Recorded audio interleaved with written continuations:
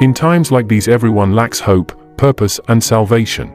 As a result, humanity is subject to its sinful nature, chasing depravity and abolishing all sense of decency, believing that this might fill the emptiness they have in their lives. Whether it may be adultery, seeking fame on social media, or striving for riches. All these bring no fulfillment and leave one with a bitter aftertaste.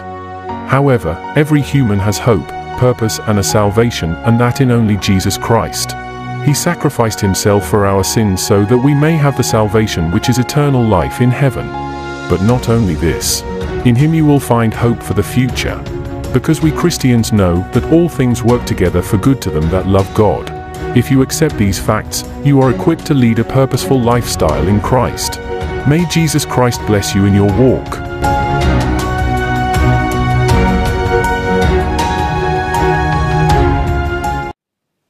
At home, I beg you, mom and dad, husband and wife, family, I beg you.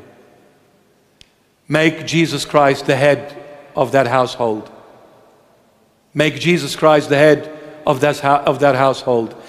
If you see that you have failed in your life, then go back and check and see what you have done where are you now in relations to Jesus Christ of Nazareth? Because you will trace it back to one thing and one thing only. You must have walked away from the Lord. That's why the household is no longer held together. Because the one who builds is the Lord. The one who protects is the Lord. Not your intelligence, not your wisdom, not your strength, not your wealth it is Jesus Christ of Nazareth. Period. When Christ is missing in your marital life, your marital life ends up missing. It is the Lord. I remember very well, as if it was yesterday. This couple came who were married for 10 years. And they said, We want to see you, Bishop. I said, Welcome. Where is the chocolate? So I can throw it over you and say, they came and they said, Bishop, we want to get a divorce. I said, Hallelujah. Great news. Please sit down. And I looked at, the, at my daughter and I said, Would you like to start? Open up. She started talking, talking, talking, talking, talking, talking, talking. When people talk, I like to listen. I want to be focused. She finished. I said, Son, it's your turn now. He spoke, he spoke, he spoke, he spoke, he spoke, he spoke. Two and a half hours. I'm just listening. Two and a half hours. I didn't say nothing. I didn't move. Two and a half hours. After two and a half hours, I said to both of them, You finished? I said, Yes. Are you sure, daughter? Nothing in the. Uh, cupboard, in the drawers, you've forgotten something in the corner, behind the door, anything? No. She emptied herself out. You, you, you, you, you, you, you, you, and him, you, you, you, and your mother.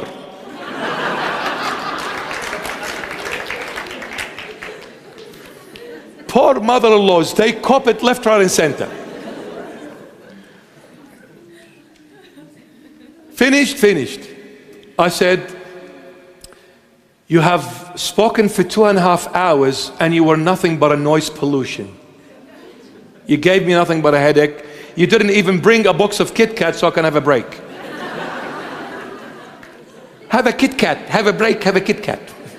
The good old ads on TV. Have a Kit Kat, have a break.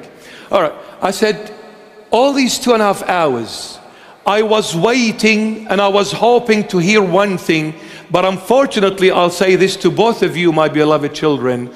I did not hear it coming from neither of you the name of Jesus Christ, the crown of our heads and of our glory. I said, This is your problem. Don't blame him, my daughter. Don't blame her, my son. Don't blame your mother in law. Don't blame no one. I'll ask you this my daughter, did you choose this man freely, willingly? Nobody forced you to marry him? She said, No, I chose him. My son, did you marry this girl freely with your own freedom? Nobody forced you? No. I said, Daughter, when you came and chose your future husband, did anyone tell you you are marrying a saint? She said, What? I said, Yeah. Open your ears. Did anyone tell you you are marrying a saint? She said, No. I said, Son, did anyone tell you you are marrying a saint? He said, No. I said, Then both of your heads bash him against the wall. Did anyone say to you, daughter, he's perfect? Or did anyone say to you, she is perfect? So why are you complaining now? Why are you saying she is this and she is that and he is this and he is that? None of you are perfect. Then shut up. But you know what? What you are missing is the perfect one in your life. A perfect one that makes you perfect in him. Covers your errors. Fills up the blanks of your life. Completes your lackness I did not hear anything about Jesus. I looked at the face of my daughter. I said, How often do you go to church? I can see it in your face, be honest. She said, Father,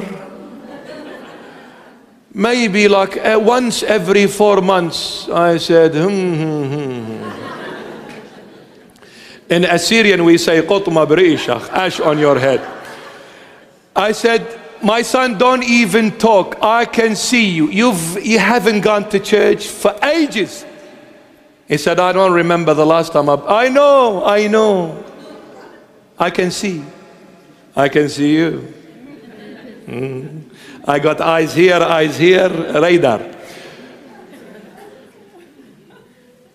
said you bring the lord jesus into your life this is the promise i'll give both of you bring the Lord Jesus into your life, you will never see my face for a divorce ever again. They both got up, put their hands together. They said, Father, pray over us. They never divorced. Never.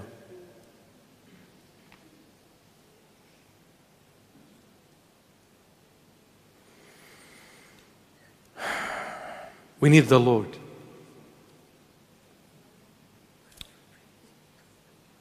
We need the Lord at home, not just in the church. The church is the end of the road, not the beginning. If you think when you go to church on Sunday or whenever the occasion is, you think this is the beginning of, no, that's the end. The beginning of the road to Christ is home. Home. Turn your homes into a church where you worship the Lord at home. Learn from Joshua. Joshua, son of Nun, Barnun. What did he say? But for me and my household, we worship the Lord. We choose to worship the Lord, me and the family. We worship, we choose to worship Him. And John Chrysostom, this mighty saint, the patriarch of Constantinople in the fourth century, he says, If you wish to see the kingdom of God on earth, see a family that worships Jesus Christ of Nazareth. This is the kingdom of God in the making. So, what do you think the kingdom of God is? Family. Family getting together, worshiping God. This is the kingdom of God. When the family worships the Lord, you are living in the kingdom of God. When the husband and the wife call the children and say, Let's sit and pray before we eat. Let's bow and pray and read the Holy Bible together before we go to sleep. That is family. And what does the Western world and what has the Western world been doing for centuries? for decades destroying family because they are focusing on individualism, not family bond. Teaching youngsters to leave home because you're an adult now, 16. 16 to me is a baby. A baby. What do you know about life? Please, my son, my daughter, don't misunderstand me. You are too young to know how to decide for yourself. This bead did not go white that easily. Did not go white that easily. I've been there, son, daughter. I've been there. Heaven and hell, I've been. Both. I've seen hell and I've seen heaven. I've seen the Lord and I've seen Satan. I could show you. I've seen it both. This outfit doesn't make you a servant of the Lord. It's the heart. But this outfit is to serve the people of the Lord. That's all. But unless you know the Lord, how are you going to serve Him and His people? You need to know Him. You need to build a relationship with Him.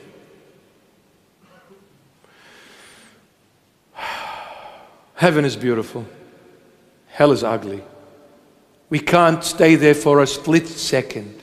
You cannot. Oh, Satan is very ugly when he comes.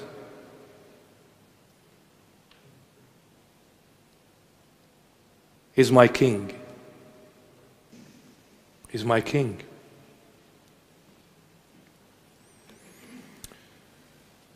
I pray all of us make it to heaven. But take your family with you when you go. Don't go alone. Because love embraces all. Love is not selfish. Love shares with everyone. So take the family with you. And we will have this beautiful meal with the Lord Jesus forever. Just, just imagine this for a moment. You're in heaven and then you see the Lord walking up to you. The Son of Righteousness, S U N. The Son, S U N, of righteousness the King of all kings and the Lord of all lords, dressed up in his majestic outfit, comes and says, My child, come and sit next to me. Or actually, he'll go a step further than that. He'll say, Come and sit in my place. That's what the book of Revelation says.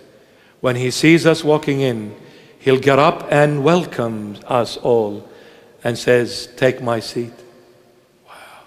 and he will bow and serve us. Not only he served us on earth, but he will serve us in heaven. That now that is a much more difficult to fathom.